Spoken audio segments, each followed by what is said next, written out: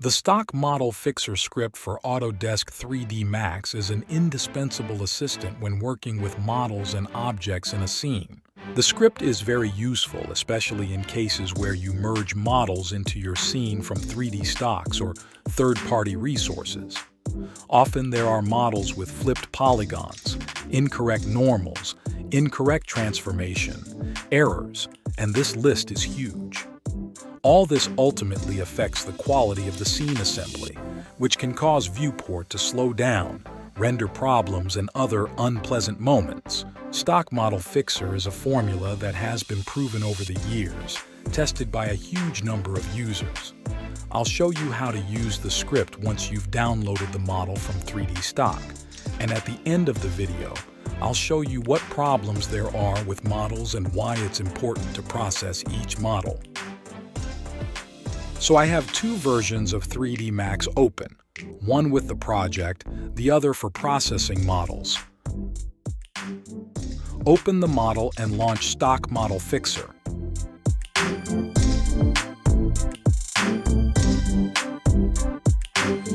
First of all, we apply the settings from the File tab. This will help fix some minor problems and relink all the textures of the model. On the Next Tools tab, there are many useful options.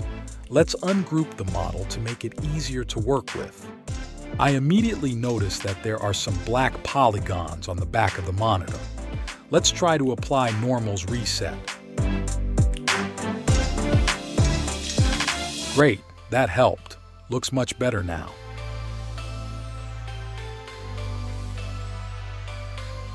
We find objects with the Mesh Smooth modifier. It is advisable to have a collapsed modifier stack. Therefore, we will see what needs to be done with such objects. Be sure to apply everything from Geometry Fix. This will correct the problematic geometry. We combine objects because the fewer objects, the better the viewport works. Don't forget to set the correct pivot.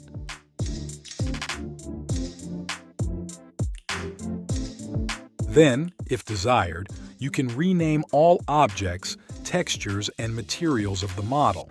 Write the model name and click Rename.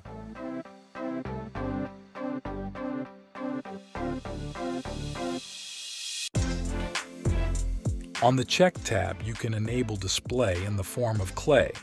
This will reveal flipped polygons.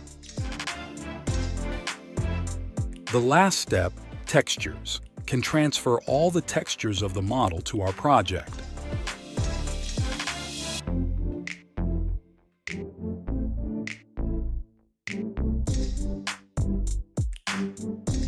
And using Copy to and Paste from, we will transfer the model to our project in another 3D Max window.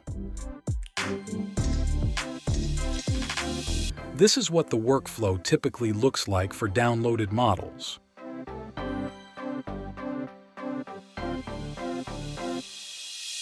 Here are some examples of problematic models and how Stock Model Fixer helps. This model uses modifiers, which is why after Reset XForm the model falls apart.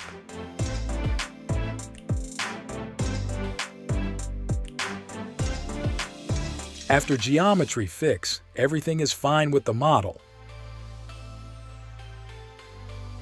Another example shows when, during the collapse of an object, hanging unconnected vertices appear.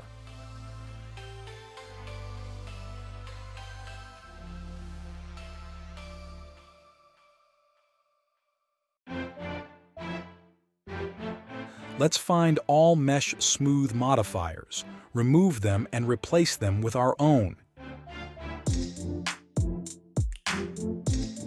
Here you go. And the last very interesting example. When the model is ungrouped, it simply explodes and scatters across the scene. To avoid this, you need to apply the options from Geometry Fix.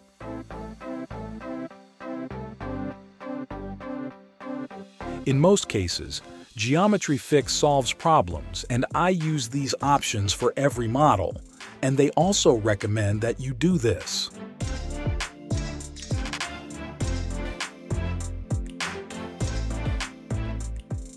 The script helps in different situations. Problems with broken geometry, not visible vertices, and other things that lead to 3D Max crashes. Not reset model transformation and scale. Uncollapsed stack modifiers can cause various errors. Missing smooth groups in the model and inability to assign them. Problems with shading models, flips and black polygons an ungrouped model with a large number of small objects, which can cause viewport to slow down, non-isolated vertices in the model, poorly named objects and textures, and much more.